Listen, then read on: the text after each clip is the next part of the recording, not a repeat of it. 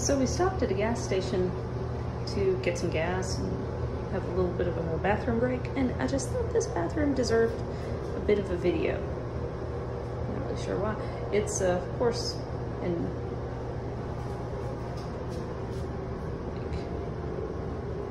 like, just I'm not used to having a urinal in the bathroom, but you know, it's an anybody can use a bathroom.